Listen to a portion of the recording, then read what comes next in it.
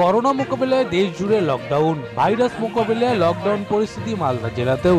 এই পরিস্থিতিতে সমস্যায় পড়েছে গরিব মানুষেরা। তাদের দুর্দশা দেখে ব্যক্তিগত উদ্যোগে প্রায় তিনশো জন দুস্থ মানুষদের হাতে খাদ্য সামগ্রী তুলে দেন স্থানীয় এক বিশিষ্ট সমাজসেবী তথা আইএনটিইউসির জেলা সভাপতি লক্ষ্মী গ্রহ মালদা শহরের রথবাড়ি এলাকায় প্রায় তিনশো জন দুস্থ মানুষদের হাতে চাল, ডাল, আলু তুলে দেওয়া হয়। সামাজিক দূরত্ব বজায় রাখার জন্য রাস্তার উপর সাদা রং দিয়ে দাগ কেটে দেওয়া হয়। এরপর স্যানিটাইজার দিয়ে প্রত্যেক মানুষের হাত দিয়ে ধুয়ে খাদ্য সামগ্রী তুলে দেওয়া হয়।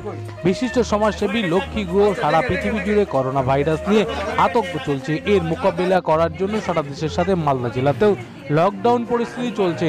এর ফলে বাজার হাট ও দোকানপাট বন্ধ রয়েছে। এই পরিস্থিতিতে সমস্যা পড়ছে গরিব মানুষ।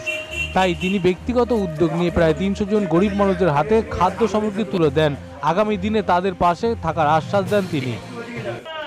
আজকে সাধারণ মানুষকে নিয়ে যে করোনা ভাইরাস এত বড় একটা আতঙ্ক সাধারণ মানুষ না খেয়ে মরছে সরকারি সাহায্য খুব কম। সেই হিসাবে আজকে আমরা কোনো দল না কোনো পার্টি না এমনি আমরা সাধারণ মানুষকে হেল্প করার জন্য নেমেছি।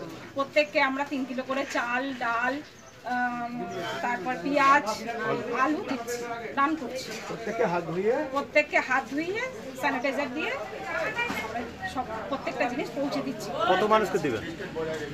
আমরা তিন হাত দূরত্ব প্রত্যেককে কত কত মানুষকে দিবেন? হ্যাঁ?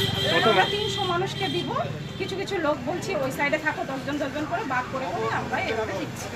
গ্যাদারিং না করে আমরা সরকারের নিয়ম মেনে গ্যাদারিং না করে আমরা এভাবে দিচ্ছি। মালদা থেকে সুমিত ঘোষের রিপোর্ট।